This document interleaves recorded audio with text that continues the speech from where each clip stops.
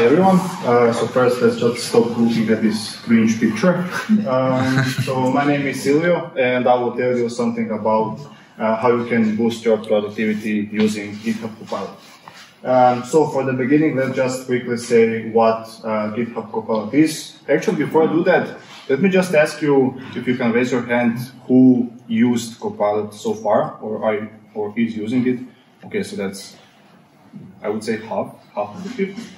Um, so hopefully for other half, I can just make you consider using it or trying it. Um, and that should be sponsored by GitHub, but okay. Um, so uh, GitHub Copilot is an AI-powered code assistant which is developed by GitHub, OpenAI, and Microsoft, and it is basically an autocomplete AI tool. So when you code, it um, goes to your file your whole project and combines your files, your project with um, with uh, publicly available source code that is found on GitHub. Um, based on that, those um, public publicly available repositories and your files, it is context aware and it provides context aware code suggestions uh, based on your code. That means that um, you can it, you trigger a suggestion based on either you typing your code or you can actually manually write something in a natural language. Like uh, you can ask it a question like you can ask uh, ChatGPT. Uh, it basically works the same. So how, do, how does it work? I already said um, it is it uses AI models which are trained on a natural language, natural language that's why you can ask it questions like ChatGPT and also publicly available source code, uh, which means it learns based on that and it will create a suggestion based on your code and publicly public uh, repositories.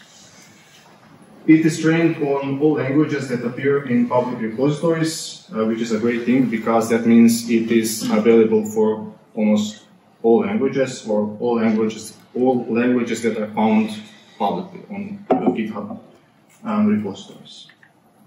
Um, and it is called Copilot, not Autopilot. Uh, I believe, I think that is important because uh, some of you might think that it will do your work instead of you, that it will just create methods that you can directly use.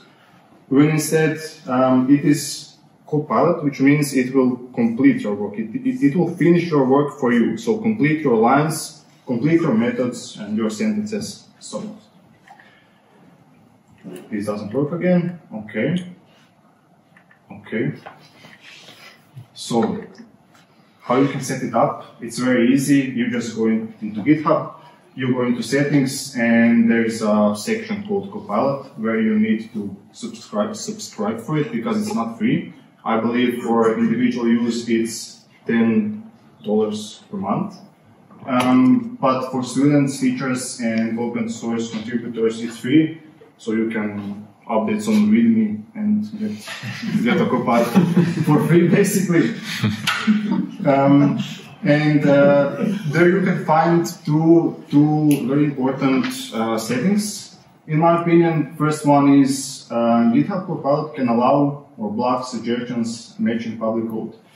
If you allow this, it means that um, suggestions that you will get can literally be copy-paste from some public repository, which in some cases you don't want to do. So you can allow or disallow that. I think it's somewhere around 150 characters. Above that, it will uh, block copy-pasted code. Uh, below that, it will not be detected as copy-paste.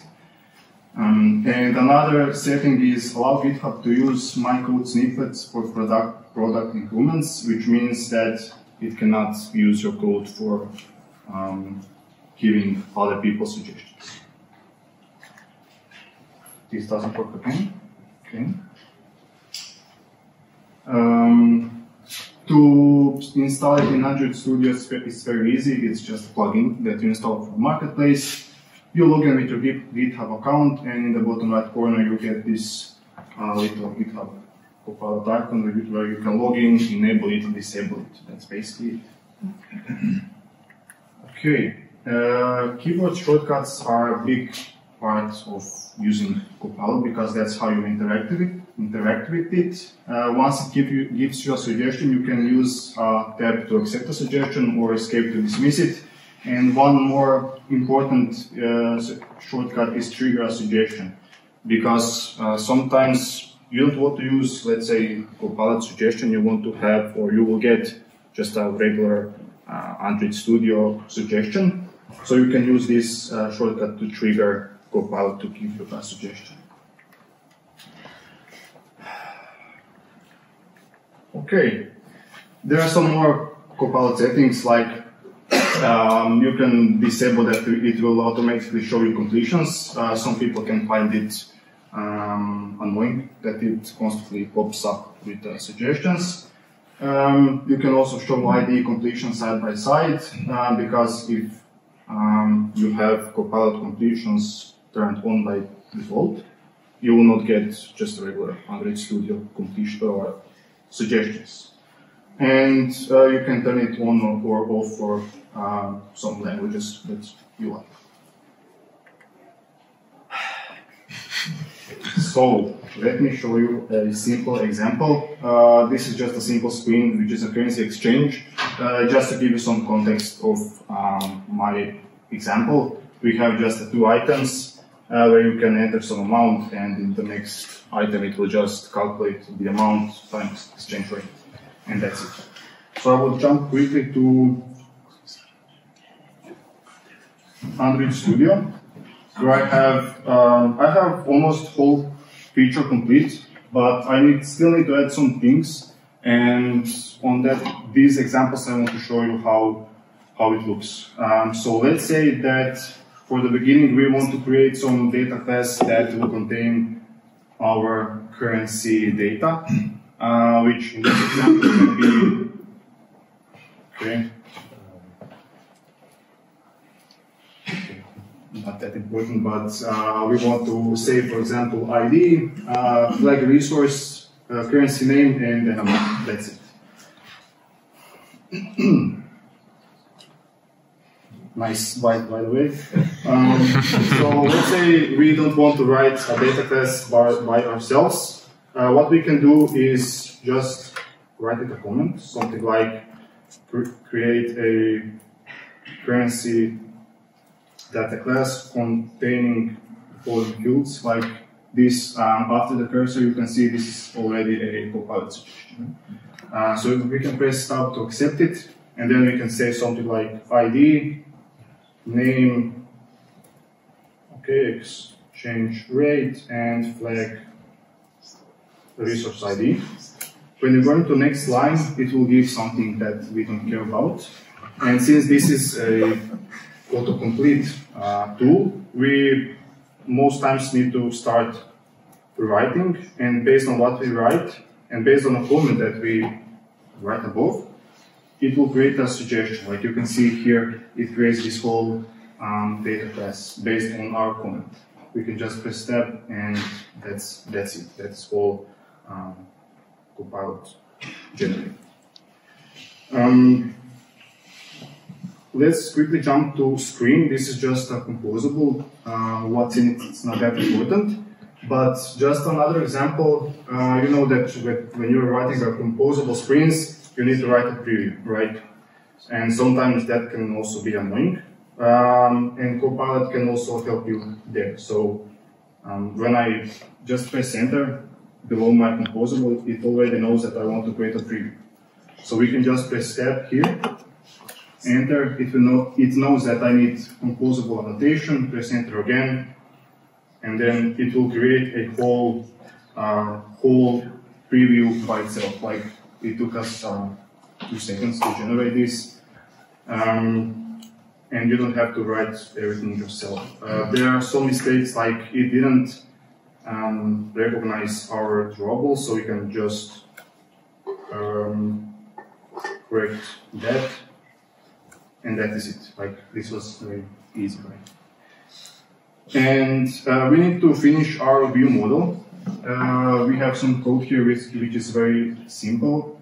Uh, we create some state which um, takes currency from all currencies. That will be a mock list that we will create. just a mock list of currencies. Um, we have some methods here that just uh, swap currencies and handle amount from change, which basically just calculates the amount to press. Um, so for the beginning, we want to create a mock list of currencies, and I guess all of you know how, again, annoying can be to create some mock, mock objects, mock data. Uh, this is where Copilot can help you as well. Um, so we can, again, we even don't need to write a comment it because it already knows, knows based on based on uh, this name here and what we are doing with this small currency is what we want to do. So basically it generated the whole list of currencies by itself and you can just um, uh, change what's wrong. For example here it didn't recognize the, the pledge ruble and everything else it's basically like ID name, it gave it some mock exchange rate, uh, rubles are wrong. But for example, if we delete all this, next time it will actually learn from our previous example and it will generate correct currencies. Let me just quickly show you that. So if I just delete that, press enter, the next uh, currency will actually have a correct resource ID because it learns from, from a previous example. And we are missing here one more thing, which is this method, uh, which is called calculate amount using exchange rate. This basically means um, it needs to just uh, multiply your input with exchange rate. That's it. So as soon as we press enter, it will generate something. We can accept that and we can look at what it's generated. So ju just based on a function name that we were calling, and from parameters that we uh, send to that uh, method, it already knows what it needs to accept and what it needs to do. So basically, it takes the amount, amount converted is amount double times currency dot exchange rate, which is correct. It formats it and returns a string. And that is basically Copilot generated, it is correct, and that's it. And uh, let's say we want to write a documentation for this method. And I don't want to do that myself because why would I write a documentation, right? Um, so I can just mark what are the, uh-huh. Um, so we can just do this and it will basically generate a whole documentation on its own.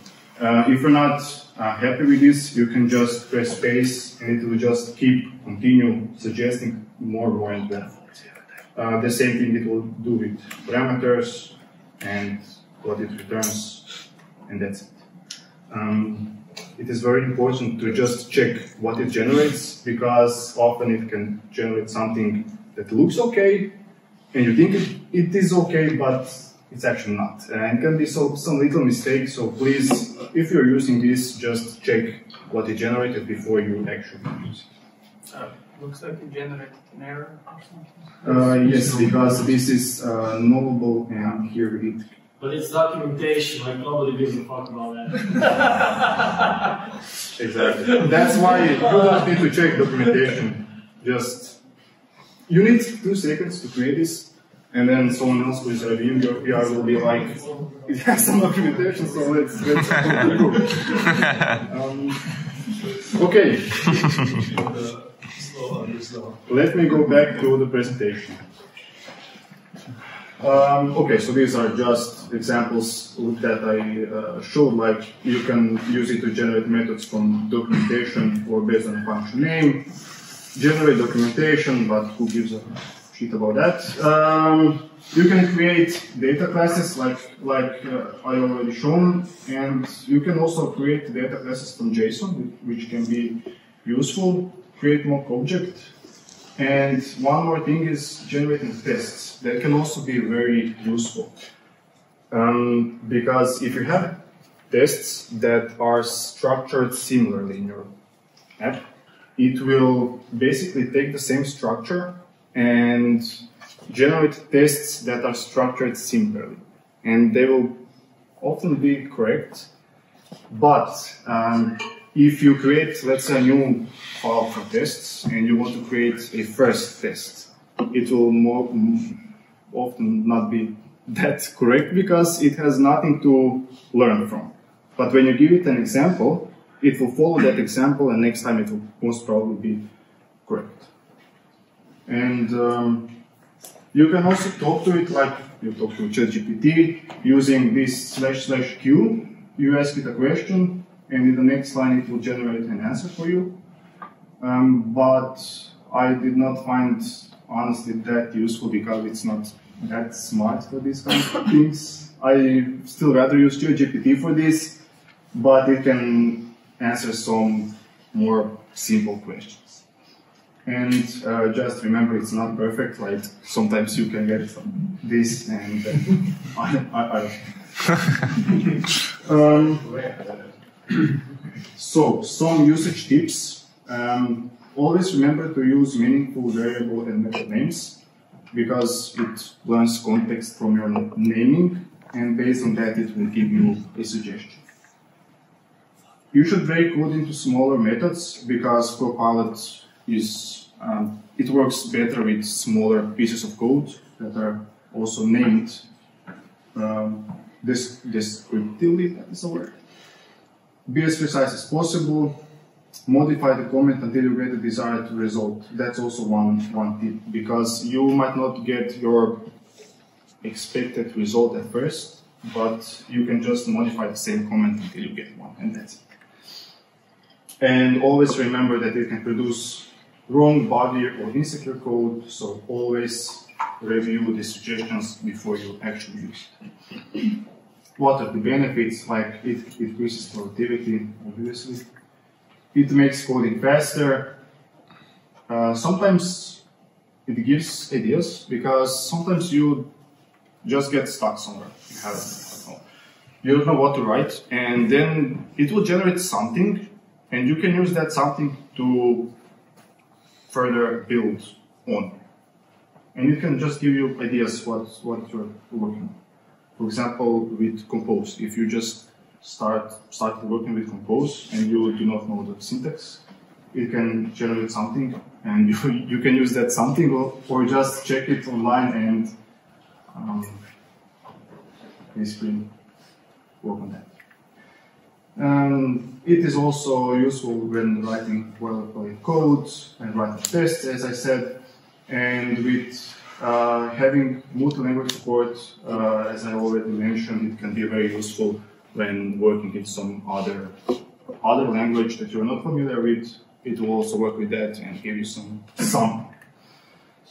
Uh, you could be worried about your privacy, and it collects three things, which is user engagement data, which is basically data how you interact with it, uh, which means if you accept a suggestion, decline a suggestion, things like that.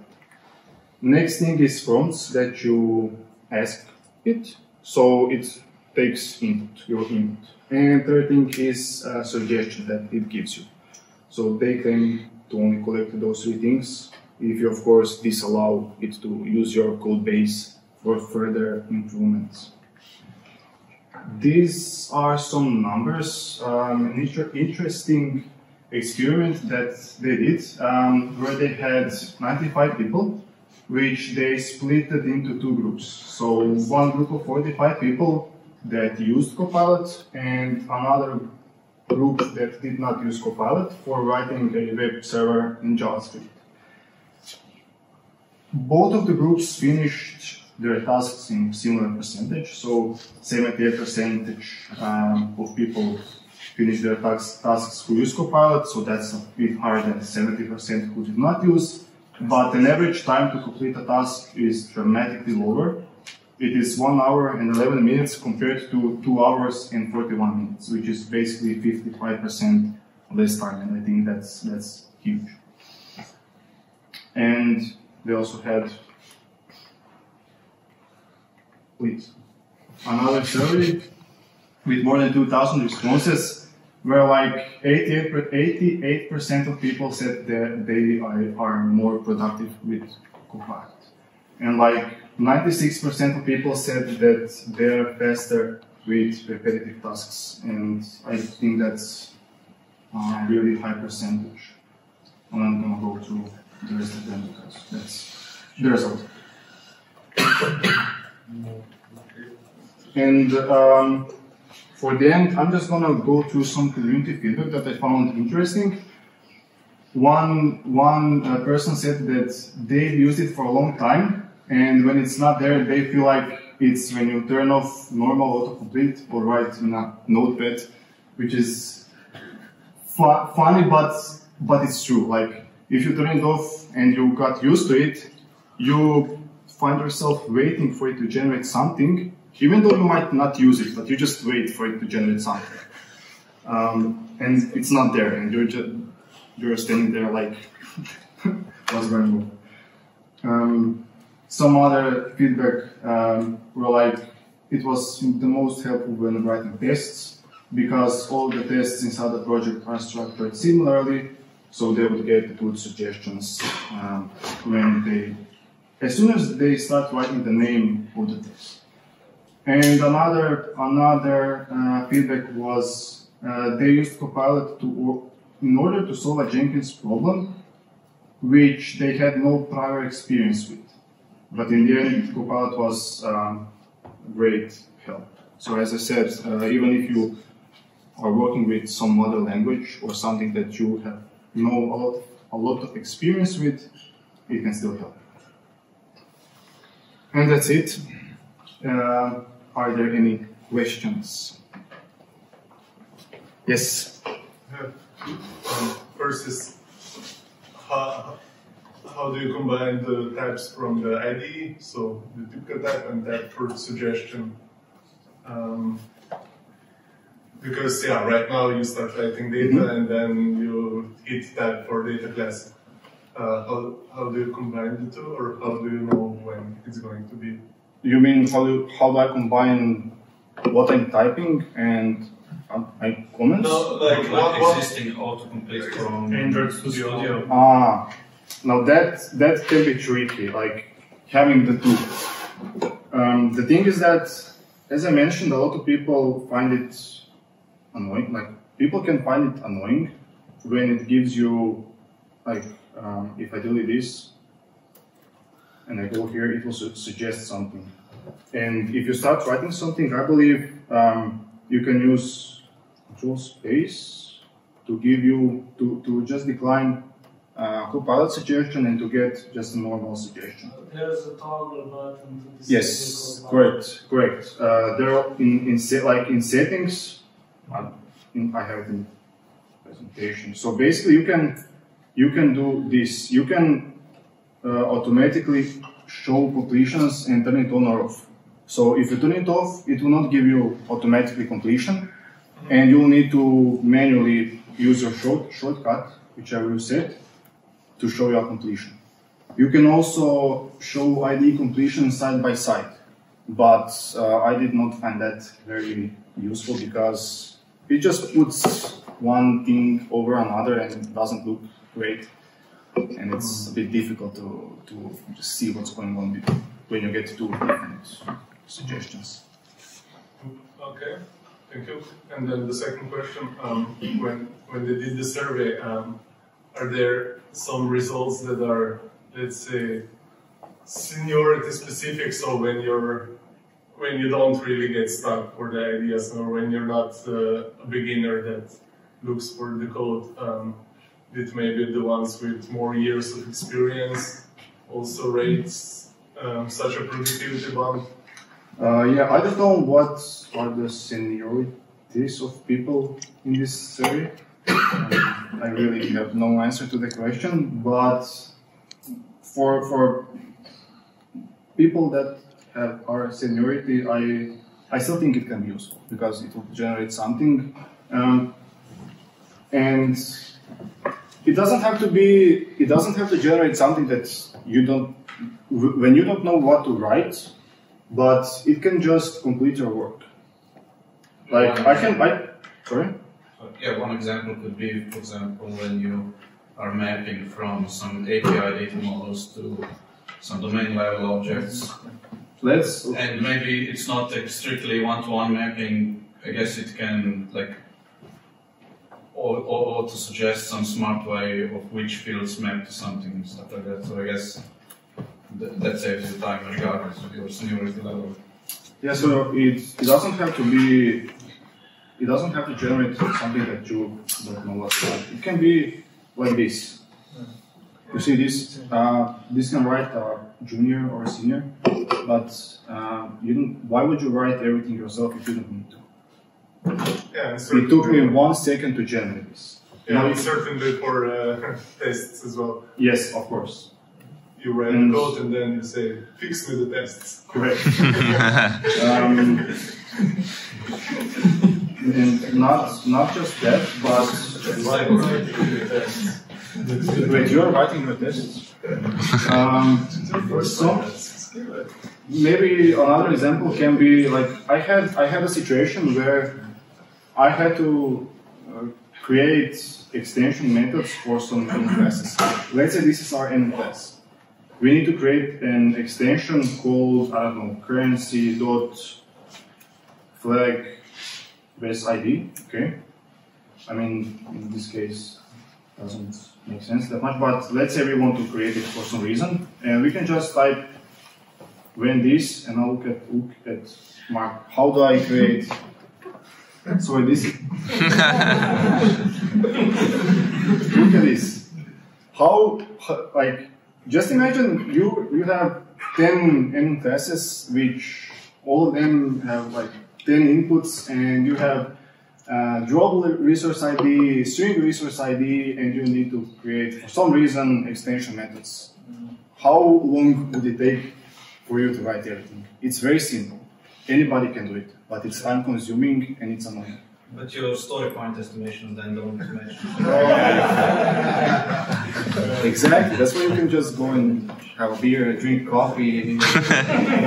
when when the Copilot is working instead of it, like how how easy how easy was was this? How quick?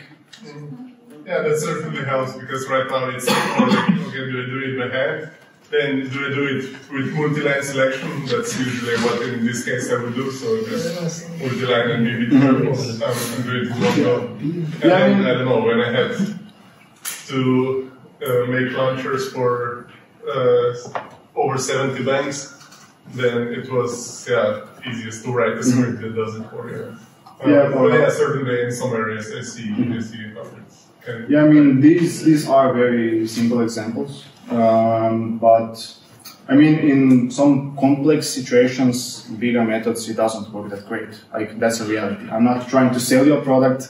I'm just trying to give you a um, realistic picture. In some complex situations, it's not that great, but in simple cases, it's it really is. It can really speed up work, and you don't have to deal with these kinds of things.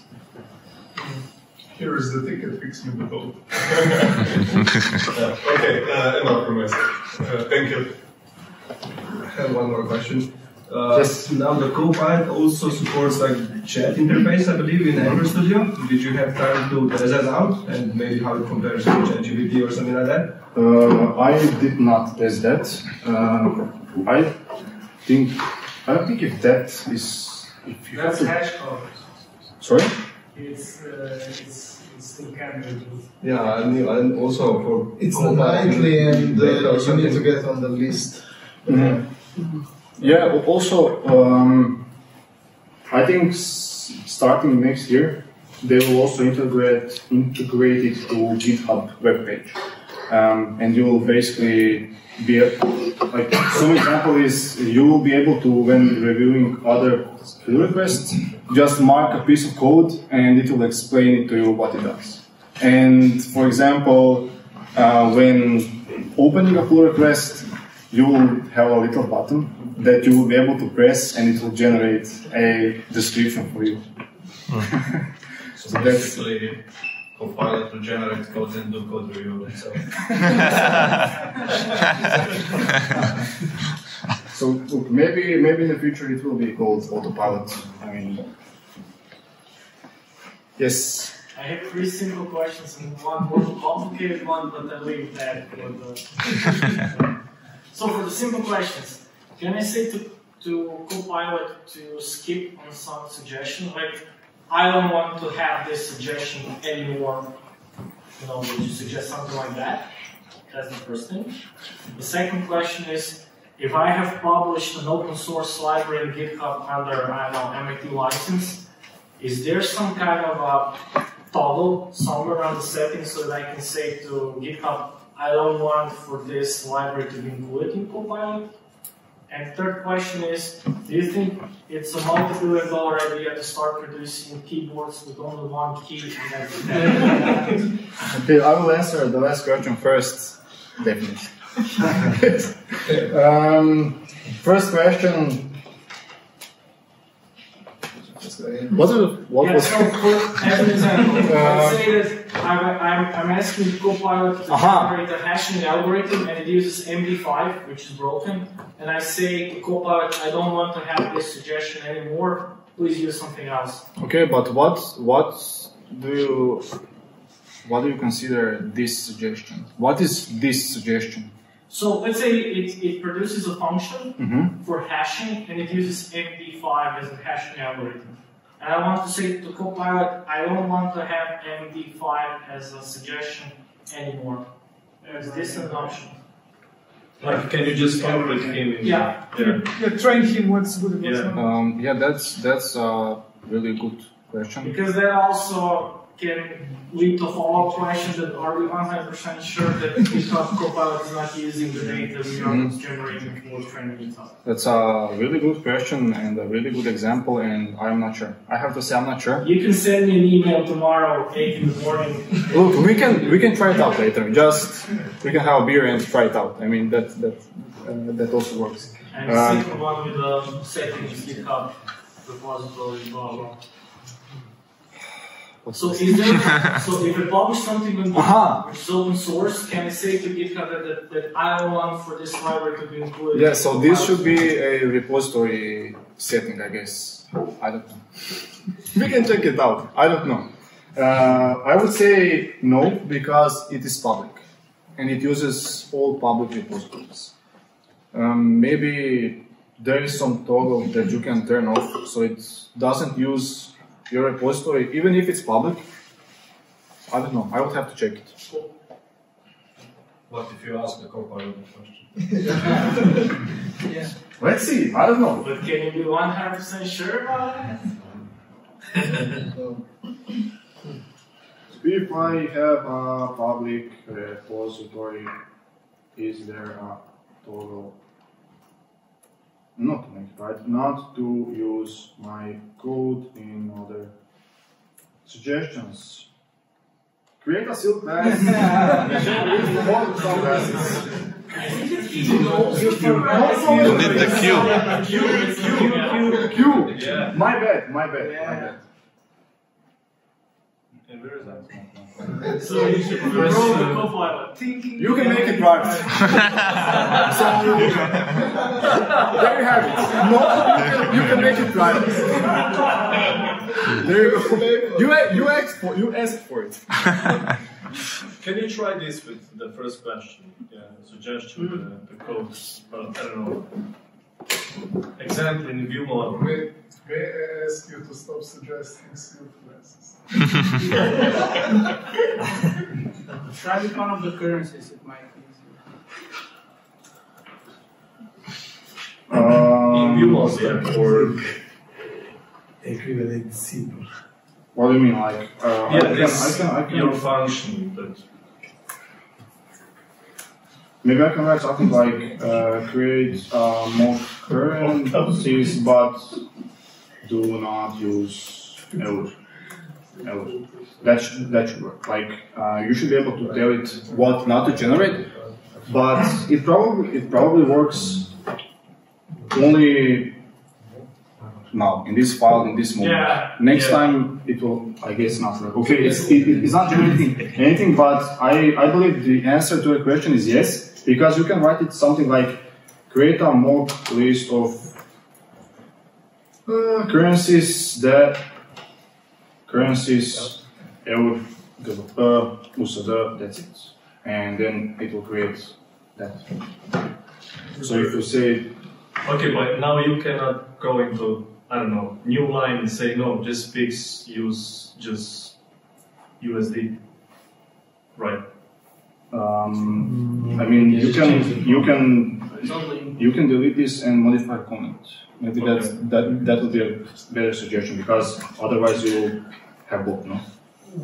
Create ano- another list but without. Yeah, okay.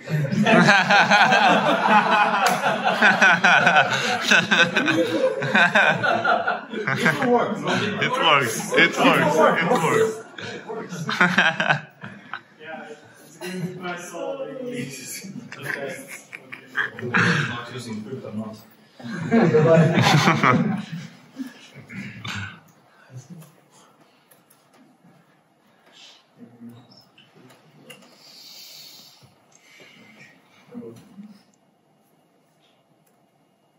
Okay, no.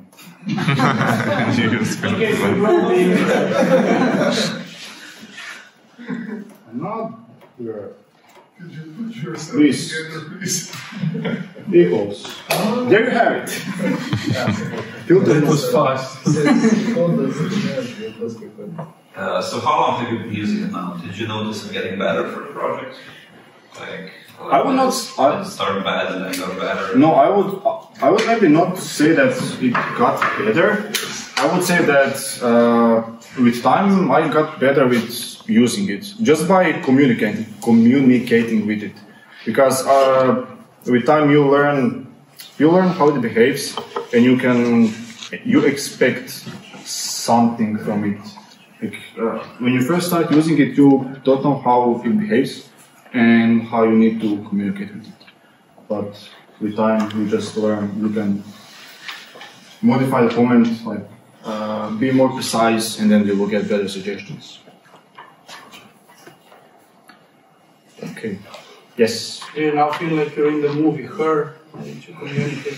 i i i, I did not the Uh, I mean, Jericho asked something about that MD5 hashing algorithm. You can, I don't think you can do it with this, but you can do it with chat. If Oh, with a chat version, because I told it not to use a version of Jenkins, uh, and it used another version of Jenkins. But that means that the chat version is using your data for training example. No, it's not. It's using your data for suggestions, but you're telling it what not to. It has some context, and this doesn't have context. Yeah. Doesn't have context. And if you're interested in using chat, it's available in VS Code if you're willing to step down from Android Studio to VS Code.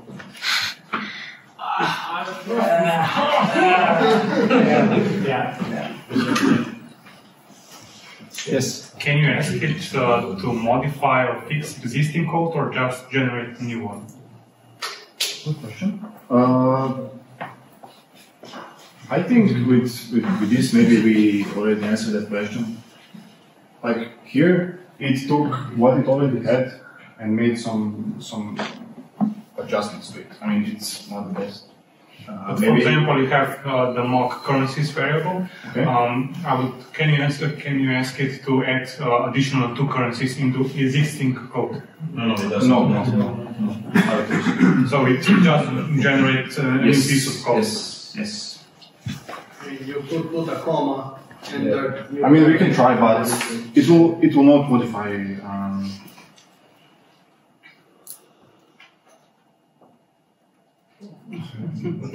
it will. no, uh, I mean no. It will not. Uh, it will not. I mean, yes, you can do this. Comma, enter. It will generate something. Enter. It will generate something.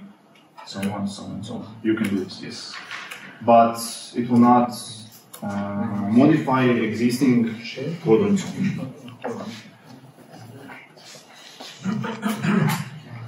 Okay. Any more questions? No. Okay. Then thank you for your.